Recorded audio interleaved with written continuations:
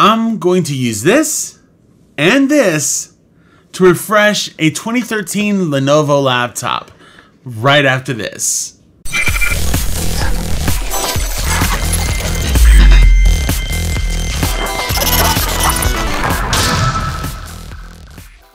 Yo, what's up guys? Welcome to Geek Dunn Ryte, the show where I talk about whatever it is I feel like. I'm Chris, thanks for coming to geek out with me. So, I felt like doing a little bit of a project, and it's on a laptop that uh, was like a workhorse for me back in the day, and even actually rendered a few of my, I think it was my first two videos on this channel. And uh, it is running Windows 7. It still has like a lot of old plugins that I like to use for audio. Uh, so mixing on it is good, but it hasn't been, well, that friendly lately. I mean, like, look at this boot time.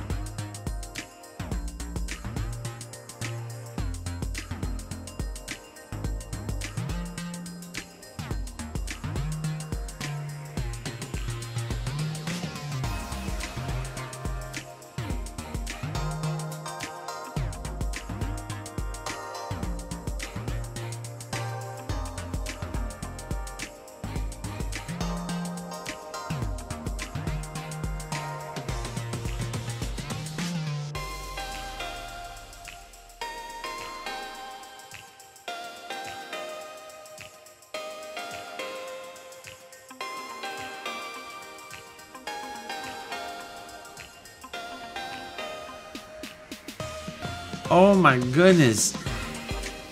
That is atrocious. Almost three minutes to boot.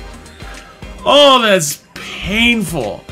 So uh, I figured let's try and give it a bit of a refresh. And so I went ahead.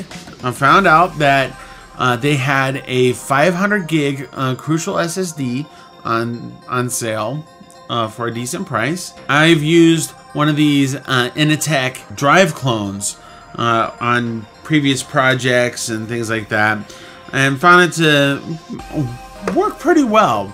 So what I'm going to do is I'm going to go ahead and use these things to see uh, if I can't breathe a little bit of new life into this old trusty friend of mine.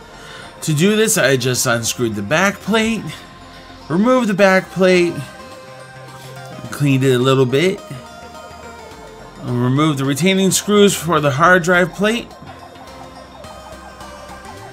slid it back, and carefully removed it cleaned it out a little bit. And then I unscrewed the old drive from its cage, cloned the old drive to the new one, screwed the new one in, and slid it into place and replaced the back plate. Let's see how we did.